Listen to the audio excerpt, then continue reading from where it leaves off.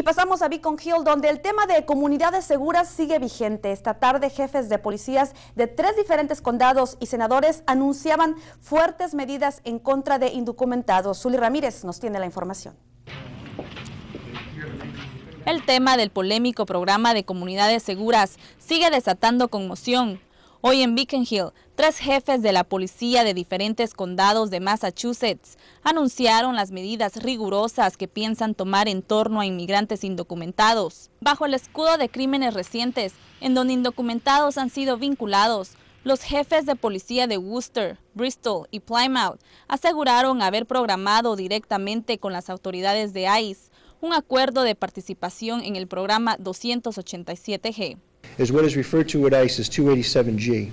El programa 287G nos permitirá mandar la información de nuestros detenidos a ICE, en donde agentes nos avisarán si debemos o no dejarlos detenidos para que luego sean deportados.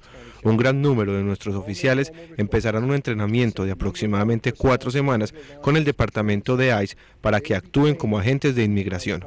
El anuncio sobre el programa que presenta similitudes con el de comunidades seguras propulsó que el debate se tornara en protesta cuando miembros de organizaciones proinmigrantes intervinieron.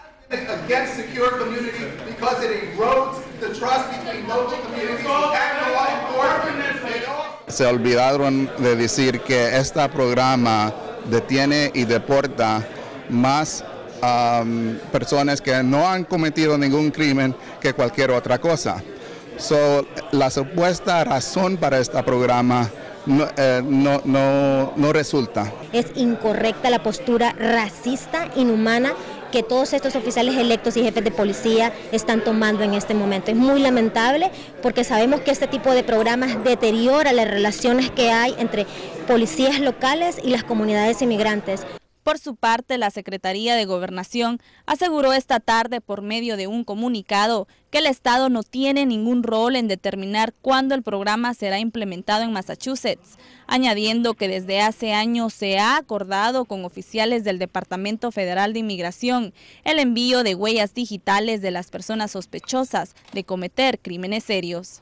Pero mientras que la disputa continúa sobre si se debe de implementar el programa Comunidades Seguras o no en el Estado, tanto senadores como organizaciones pro-inmigrantes aseguran que seguirán firmes con sus posiciones al respecto.